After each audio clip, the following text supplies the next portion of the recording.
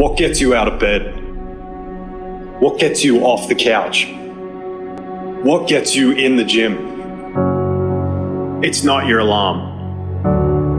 It's not your parents. It's not your friends. It's you. The only one that can make it happen for you is you. It's really hard to be led by your butt. But I'm not qualified.